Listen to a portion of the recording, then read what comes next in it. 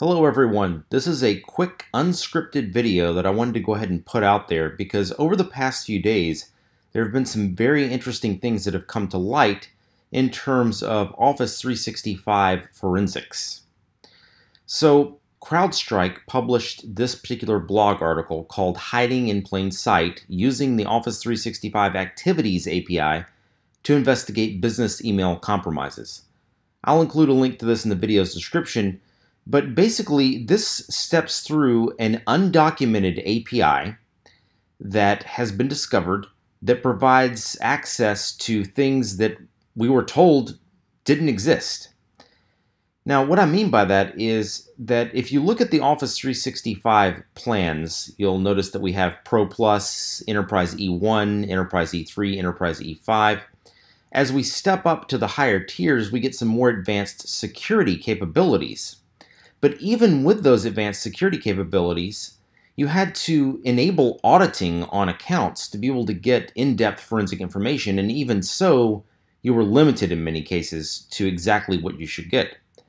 But in this case, we can actually go back six months in history for every single account in our Office 365 tenant and obtain some very, very detailed information and when I say detailed information, I mean things like search terms, login events, IP addresses from which the activity occurred, just tons and tons of information here. And it doesn't have to be explicitly enabled for any given account. It's already enabled. In fact, all of this data is being collected in the background, and there's nothing that a user has to do. So this has huge implications for cases of business email compromise. An article was published from uh, LMG Security uh, by Sherri Davidoff, who you may recognize as the author or co author of Network Forensics, which is an excellent book, by the way. This article goes into some additional details and actually introduces a tool that accompanies the CrowdStrike tools that they've released. This tool is called Magic Unicorn, and it basically parses the logs that are obtained from the Microsoft API via the CrowdStrike tool and cleans them up and puts them into a tab separated values format that's much easier to read than the format that it's currently in. And I'll actually show you that here in a minute. But I'll also include a link to this tool in the video's description. Magic Unicorn is actually also bundling a slightly modified version of the CrowdStrike tools within it uh, so they can work together and actually output this particular uh, version, which is much easier to read than what you get with the CrowdStrike tool alone. But suffice to say, this has major implications because of many cases involving business email compromise, which is a huge deal right now. It's cost billions and billions of dollars uh, in U.S. and outside of the U.S. as well, in terms of businesses being, you know, having their email accounts compromised and wire transfers, unauthorized wire transfers being conducted. That's you know, some of which are transferring tens of thousands, hundreds of thousands, or even millions of dollars uh, in these fraudulent transactions. So, in those cases, or even in the case of a smaller business that didn't have some of the advanced security features because they were paying for a lower tier of Office 365, they may have thought that, hey, you know, we, we don't have the auditing turned on, and it's not retroactive if we go ahead and buy the higher tier Office 365 product. It's not like we can just say, uh oh, something's happened. Let me buy the new tier of Office 365 product that gets me the information I need. That's great, but it's not retroactive, so I don't have the logs. In those cases, they've had to do something called assume breach. They cannot rule out the possibility that an account that had sensitive information within it was accessed because they don't have that granular level of detail, so they have to assume breach. And of course, that causes reputational damage, of course, monetary damage. There's all kinds of implications involved in that. But had they had access to this tool, that may have saved them. Now, the other interesting thing is that apparently five of the top forensics firms have had access to this undocumented API for some time, somewhere between six months and a year, based on what I've read. Uh, it's not identified exactly who those top five are, and I'm not going to speculate here, but you can take a guess. And the problem is, well, hopefully you see the problem. If these people, if these organizations have access to this tool, but the rest of the forensic community does not, this is certainly an ethical dilemma. So uh, basically, this article that you're looking at here goes through that ethical dilemma and highlights a bunch of interesting problems that have recently come to light. Now, this is the GitHub page for the CrowdStrike tool, which again is bundled in the version of Magic Unicorn that we're going to be using. But you'll see that there is an activities.py script and a retriever.py script, and the usage is very, very simple. Uh, we basically specify a user account, the output file name, the type of message that, or the type of thing that we want to extract from Office 365, which is optional. By default, it'll just extract everything it can. And then also optionally, we can specify a start and end time period if we want to bookend that particular search of activity. If we leave it blank, it's going to go back six months. And when we tested it today in an Office 365 tenant with my team, it actually did go back almost exactly six months, 180 days uh, from today which I believe was somewhere around December the 29th. So, again, very, very interesting.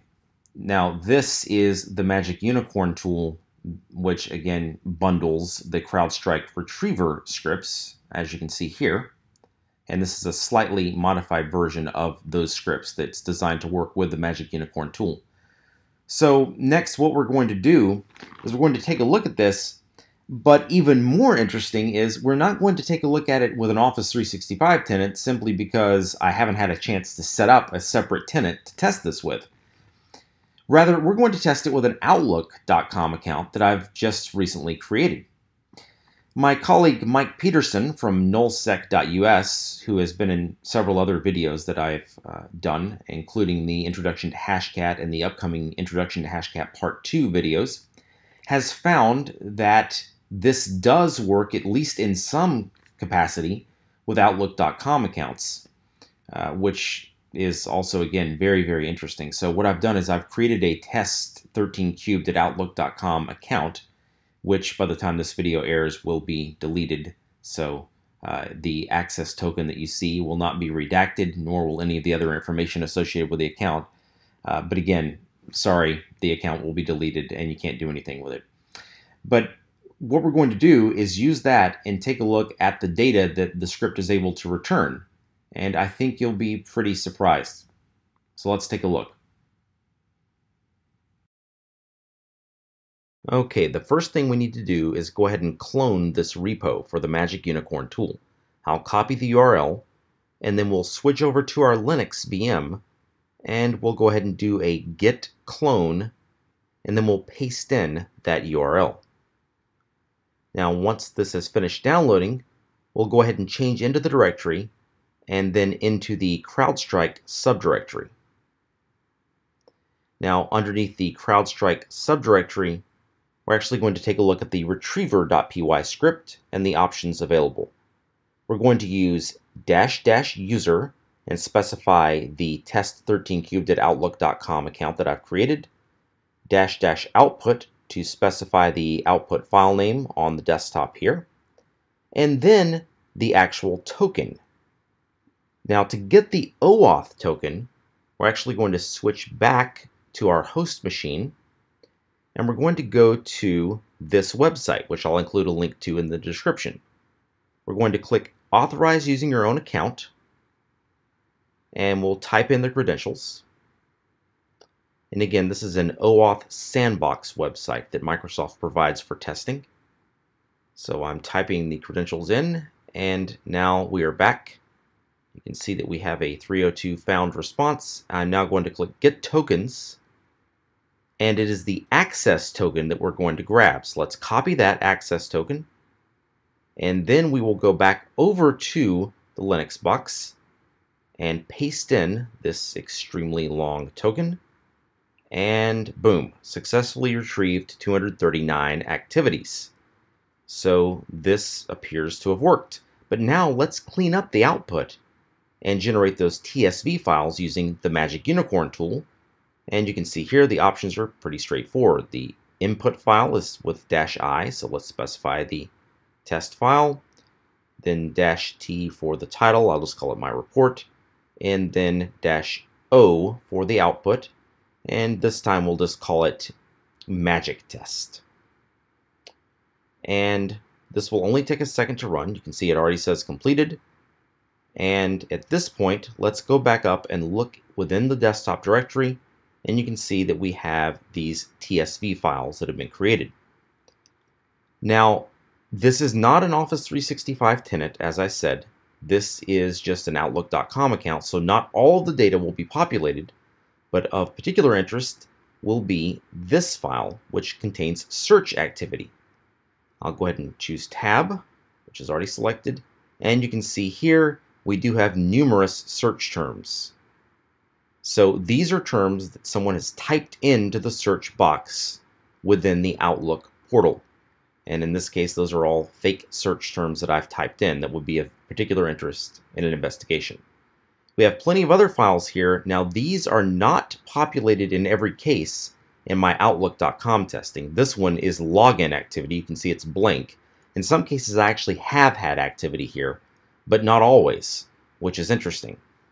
So I don't know why some of these things are populated sometimes and not other times. Again, this is primarily designed to work with an Office 365 tenant, but I did not have time, as of the recording of this video, to create a separate tenant to use for testing. But it works exactly the same way as what I've just shown you. So if you have a test tenant, I would encourage you to go ahead and grab this tool and play around with it. See if you can get the same results that I got. And of course, you can also practice or test with an Outlook.com account as well. Your results may vary there. I just need to do some additional research on that front. So again, this was a very quick, unscripted video. I'm actually traveling right now, so you'll notice the video and audio quality is not exactly where it normally is. Apologies for that. Uh, again, this was just something I felt like I needed to create a video for.